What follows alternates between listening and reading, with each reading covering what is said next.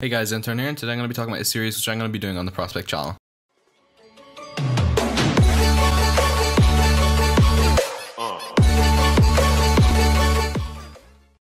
So basically guys, in short, what I'm going to be doing on this channel is I'm going to be doing a Q&A series. How this is going to work is, every time a new episode comes out, you guys are going to leave the questions which you want me to answer in the next episode in the comment section below. Basically, the drill is going to be whenever you leave that comment in the next video, I'm going to go through the comments. Hopefully, I will answer them all. I'll put your comment up on the screen and I'll talk about whatever question you ask me. Now, these questions can be about anything you want. It doesn't necessarily have to be about gaming. It can be about the team. It can be about my opinions on certain things. It can be about gaming. It can be about different games in COD. It can be about COD, it can be about whatever you want. So if you guys want a chance to be featured up in the big screen, your comment there, me answering it, leave your comments down below and I will address it in the next video. If you enjoyed, subscribe, leave a like, and I'll see you in the next one.